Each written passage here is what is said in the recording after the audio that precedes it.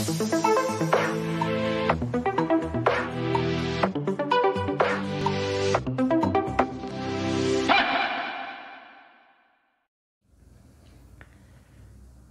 to all students. I hope you are doing fine. In this video lecture, we are going to discuss gene therapy. Gene therapy is, in, is a procedure or mechanism in which is involved the insertion of healthy genes into the cells to treat a particular disease. As you know that due to the mutation, different kinds of diseases uh, we are facing like thalassemia, leukemia, sickle cell anemia, uh, hypercholesterolemia, SCID, and a very long list, a very long list of the diseases which are genetic diseases. These diseases are not able to be uh, treated with conventional methods of the treatment. We cannot prevent these diseases, we cannot uh, uh, treat these diseases by vaccination or immunization. We cannot use antibiotics or other conventional method.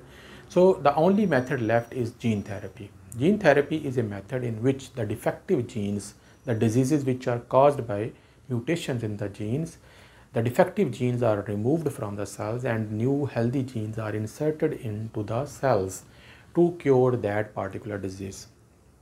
So there are two types of cells which are uh, used in this technique gene therapy. There are two types of body cells. One are somatic cells. Somatic cells are general body cells which are usually non-reproductive and these cells are mostly used in gene therapy and this therapy is known as somatic cell gene therapy which are we are going to discuss in this video lecture. The other method is germ cell uh, gene therapy. Germ, germ cell gene therapy involves the sexual cell like sperms and eggs and the genetic material is uh, genes uh, uh, are manipulated. But these methods are not usually uh, adopted by the scientists in different uh, countries due to the ethical issues with the these gametes so the only method left that is known as somatic cell gene therapy now there are different uh, uh, two types of somatic cell gene therapy. One is known as ex vivo gene therapy and the other one is in, in vivo gene therapy. In ex vivo gene therapy, we take out the body cells from different organs of the body and insert genetic material into them by in a test tube or in a petri dish outside the body. So that is why this method is known as ex vivo gene therapy. While in in vivo gene therapy, we use uh, body cells inside the body and the genetic material DNA genes are inserted into the cells of the working body cells. We are going to discuss uh, these two methods with one example each. So first of all I am going to discuss ex vivo gene therapy and during ex vivo gene therapy I have taken an example of a disease which is known as severe combined immunodeficiency disease. It is a disease just like an AIDS in which body's immune system totally manipulated. So this disease is usually found in newborn babies or uh, young children. In severe combined immunodeficiency syndrome, there is a, there is a lack of an enzyme which is known as AD adenosine deaminase, an enzyme which is responsible for the maturation of white blood cells, especially T lymphocyte and B lymphocytes. B lymphocyte and T lymphocyte are specialized white blood cells which are responsible for the immunity of our body. So when they are not mature, they cannot work properly due to the deficiency of enzyme and this enzyme is not produced due to the mutation in the gene uh, and uh, as a result of that the children or the patient suffers from severe life-threatening infections which can lead to the death of the patient. So we are uh, trying to uh, treat this disease with the help of gene therapy by ex vivo gene therapy.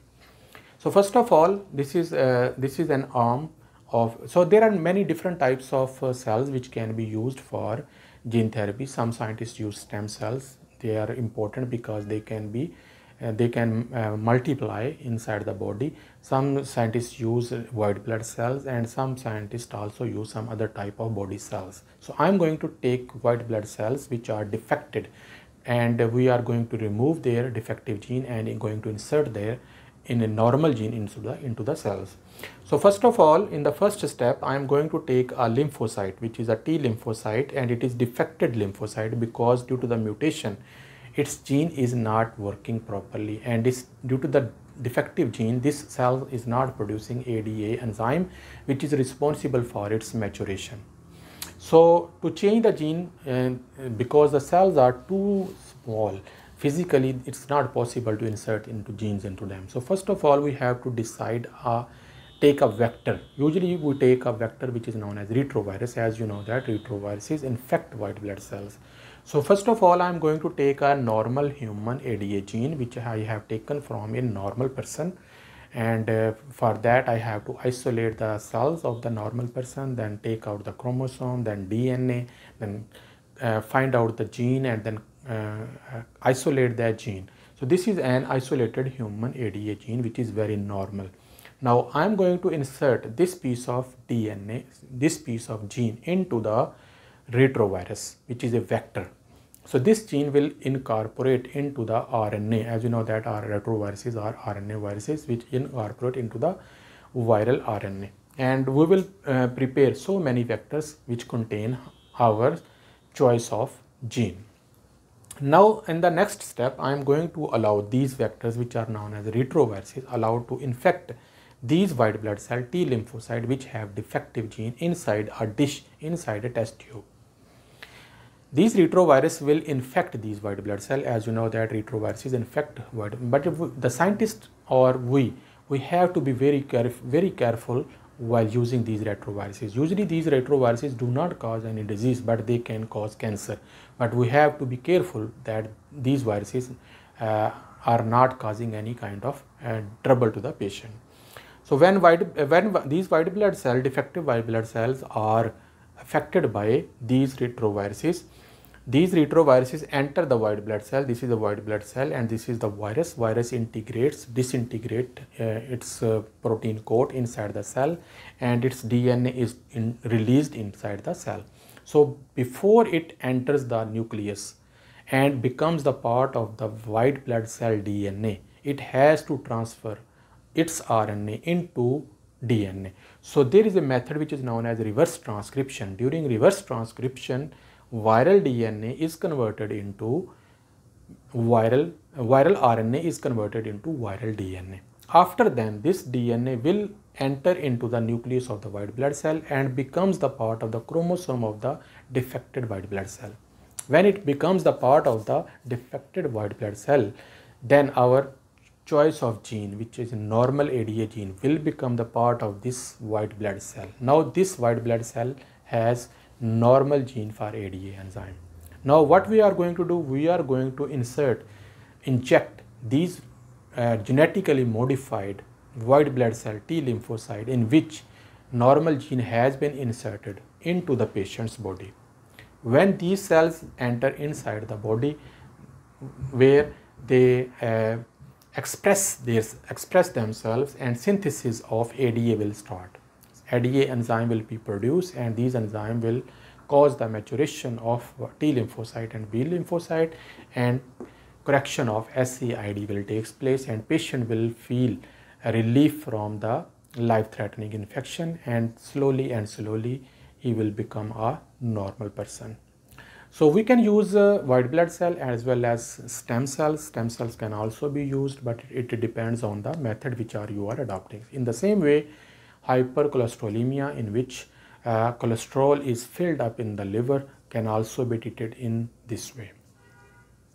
Now let's look at the second example or second method of the gene therapy which is known as in, in vivo gene therapy. In vivo gene therapy usually takes place or uh, done inside the body of a person. So I have taken an example of a disease which is known as cystic fibrosis. In cystic fibrosis, patient's lungs are filled with mucus and due to the lack of the transmembrane carriers in the epithelial walls of the alveoli. Due to, the, due to this defect, patient's lungs are filled with mucus and it uh, causes life-threatening infection which lead to the death of the patient. There is no treatment for this disease, so we have to do uh, gene therapy. So this in this method we cannot uh, perform ex vivo gene therapy and we have to do in vivo gene therapy. For in vivo gene therapy, first of all we have to take a normal gene. Normal gene can be taken from any normal person. Then what we are going to do then we are going to prepare a molecules which are known as lipoplexes. Lipoplexes are small microscopic vesicles, liposome microscopic vesicle which are composed of lipoproteins which are coated with normal genes. In the same way we can use viruses, retroviruses which can also be used as a vector. But at this time we are not using viruses but, uh, but we are using lipoplexes which are liposome microscopic vesicles which contain which coated with normal gene. Then we are going to insert these uh, liposome in a solution and then this solution will be sprayed or pumped into the nostrils of a patient. This solution will travel from nasal cavity into the trachea and into the lungs where these microscopic vesicles which are coated with normal gene will enter into the uh, alveoli and where uh, enter into the epithelial cells of the alveoli and normal gene will inserted into the uh, cells of these epithelium. So in this way the transmembrane carriers of the molecule will uh, perform well and, uh, and channels which allow um, sodium ions and bicarbonate ion they work better and the mucus production will decrease and patient will become little bit uh, relieved from this disease but this uh, method of treatment does not give 100% cure rate because the lungs are already filled with mucus and there is very little uh, approach of these vesicle into the lungs. So but we, we can try only and uh, rest of uh, uh, the method can be work or not it's up to the uh, body's condition. So in this way uh, the in vivo gene therapy can only be performed with a with a specific organ. If lungs are affected, we can only perform this uh, therapy to only lungs, but it's not going to affect other body organs, unlike uh, ex vivo gene therapy where all body organs can be affected. If there is a problem in the stomach, then we have to do in vivo therapy for stomach. If there is a problem in the heart, we have to do perform in vivo therapy for heart. If there is a problem in liver or pancreas, then we have to perform this method into that particular organ. So in this way, I hope uh, uh, it makes sense and uh, I'll see you in the next lecture. Until then, bye.